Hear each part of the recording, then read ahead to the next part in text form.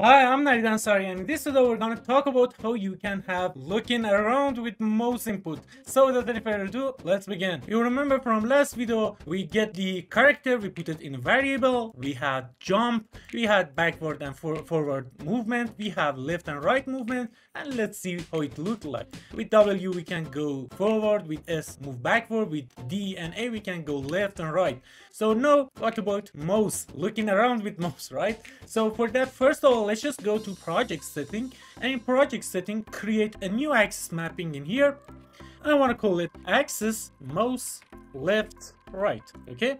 And I want to give it the mouse X. So with mouse X we can look left and look right okay? So if we look uh, right it will give us one and if we look left it will give us minus one right?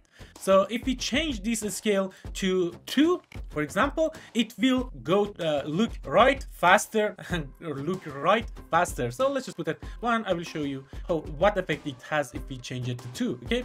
Now we have these mouse X let's just go to our player control and in here like always get the reference to our character again that we get up here we get our character we put it in variable so everywhere we can use it, right? So the next is axis, that axis mapping that we create, axis mouse left, right, okay? That's it. So now that we have this, with this mouse left and right, that is mouse X, I want to change the rotation of our player like this. If we go to our scene, let's just find this, this start point, this player starting here. You can see in rotation, there is roll, there is pitch, and there is yaw, okay? So let's just change the pitch. You can see it, uh, the pitch is for uh, looking down and up and you can see it. And for this yaw we it's for looking left and looking right and you can see it how it works okay? So what we want to change is this yaw movement looking right and looking left you can see it the yaw. If you hover over it you can see it says z yaw in parentheses okay? So with that just search add yaw and it find add controller yaw input okay? And that's what we want. Let's just connect this execution pin to here and axis value to here. And that's all you need to do. That's how easy it can get. Let's just compile and go to our gameplay. And you can see with mouse we can left right and left. And we can go forward. We can go right left that we wrote before. And you can see everything is working fine. But let's just do it for looking up and down so before doing that let's just select all of these and comment it out with looking right and left Let's just bring it down to here. So now if we zoom out, you can see what section does what, okay? So now for looking up and down, first of all, go to project setting, add another axis mapping in here, and I want to call it axis mouse up down and I want to call it this okay and for for this action for this axis I want to use mouse Y okay so now let's just go here again like before. Just uh, get the character from here and search for axis mouse up and down. And now what we want is at pitch movement, okay?